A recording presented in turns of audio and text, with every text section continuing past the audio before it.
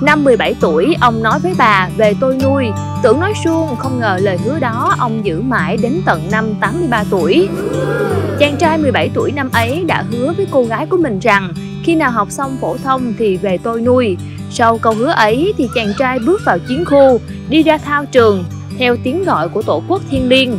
Cô gái vẫn ngày ngày tần tảo ở nhà đợi chờ câu hứa. Lời hứa về tôi nuôi hôm nào bỗng chốc mong manh trong những làn mưa bơm bão đạn.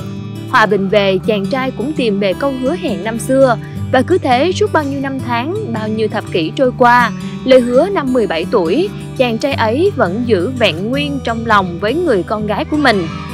Chàng trai 83 tuổi của hôm nay vẫn đứng miệt mài bếp, nấu từng bữa cơm để chăm sóc cho cô gái năm 17 tuổi ngày ấy. Ông còn bảo rằng thời của ông bà trọng lời hứa lắm, vì vậy nếu cảm thấy không làm được thì đừng nói gì cả. Hình ảnh của ông cầm cụi đứng bếp nấu cơm, bà ngồi một bên dõi mắt đợi chờ đã khiến cho nhiều người xuyến sao xúc động. Một số bình luận được mọi người để lại, nhìn ông bà sao mà dễ thương quá, ngưỡng mộ những tình cảm như kiểu tình cảm của ông dành cho bà vô cùng.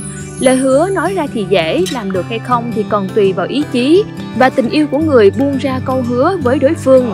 Phải tha thứ bao nhiêu lần, yêu nhau nhiều như thế nào để đổi lấy những khoảnh khắc bình yên lúc xế chiều như thế này. Cảm ơn các bạn đã quan tâm theo dõi. Đừng quên đăng ký kênh Tin 3 Phút để cập nhật tin tức nóng hổi mỗi ngày.